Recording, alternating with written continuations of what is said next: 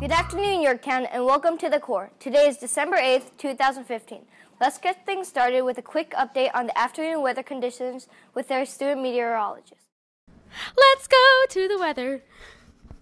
Hello, Yorktown. I'm student meteorologist Danny. The time is now 12:30 and the temperature outside is 45 degrees. As you can see from the video behind me, we're experiencing partly cloudy skies. Today appears to be a perfect day to watch holiday movies. Have yourself a wonderful day and let's take it back to the studio. Thanks for that update, Danny. Now let's try to put a smile on your face with the jokes of the day. It's the jokes of the day. Hi, my name is Claudia, and here are some jokes to remember the next time you're in a situation to tell some jokes. What is the parent's favorite Christmas carol? Silent Night. what did the math book say to the student? Do you want to hear my problems? I'm Claudia, and these have been the jokes of the day. Let's take it back to you in the studio. Nice job, Claudia. Now let's get to know a sixth grade student at MESMS. The interviews. My name is Trevor Griffiths, and I'm on Team E.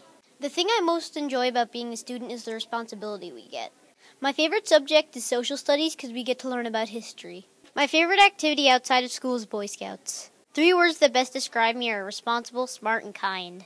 When I grow up, I want to be a college professor in history. That's all about me. Back to the studio. The word of the day. Thanks, kids. Let's go improve our vocabulary with the word of the day. Hi, my name is Helena, and welcome to the segment dedicated to improving your vocabulary, the word of the day. Today's word is ambiguous. Ambiguous is an adjective. Ambiguous is defined as not clear, having two or more possible meanings. Uncertain and unclear are synonyms for ambiguous. In a sentence, ambiguous can be used like this. The questions on the English test were ambiguous. Ambiguous. Can you use it today? Thanks, kids. Now let's go to Lauren with today's true or false.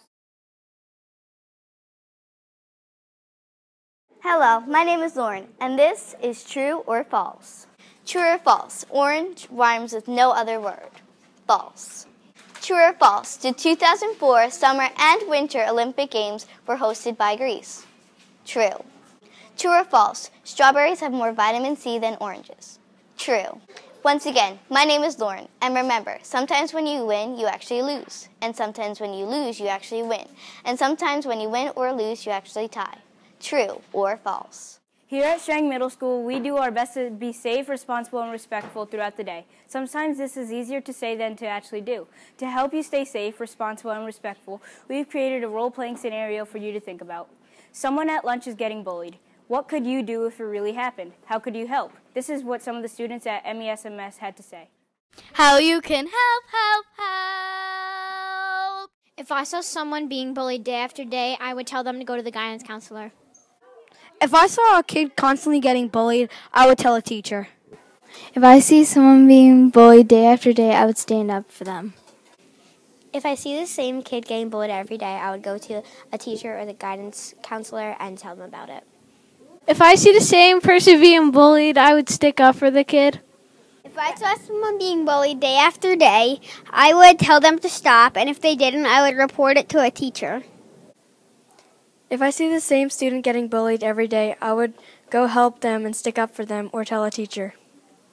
If I saw the same student being bullied day after day, I would go stand up for them or tell a teacher. If I saw the same student being bullied day after day, I would report the bully to a teacher. If I see the same student getting bullied day after day, I would tell a teacher. If I saw a student getting bullied, I would tell the teacher and stand up for the student. If I see someone getting bullied, I can talk talk to them and help them out. If someone was getting bullied, I would help them by telling them that it's going to be okay and telling them that they should tell a teacher. If someone was getting bullied by the same person, I would stand up to the bully and tell on him. If I saw someone being bullied day after day, I would tell the A- the assistant principal. Great job, kids. Now let's go to Today in History. Today in History. Hi, my name is Harold, and I'm going to share some facts and events that took place on this day in history. On December 8, 1776, George Washington's retreating army crossed the Delaware from New Jersey. Based on this event, we're going to focus today's facts on George Washington. Did you know that he, George Washington was a former redcoat? Did you know that George Washington was the first president? Thanks for watching today's Did You Know?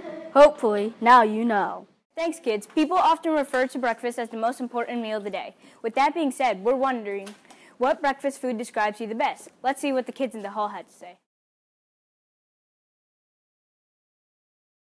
If I could be any cereal, I'd be Lucky Charms because they're like mostly bland with like those mush- marshmallows that are good and like energetic. So, yeah. I would be Cheerios because they taste good.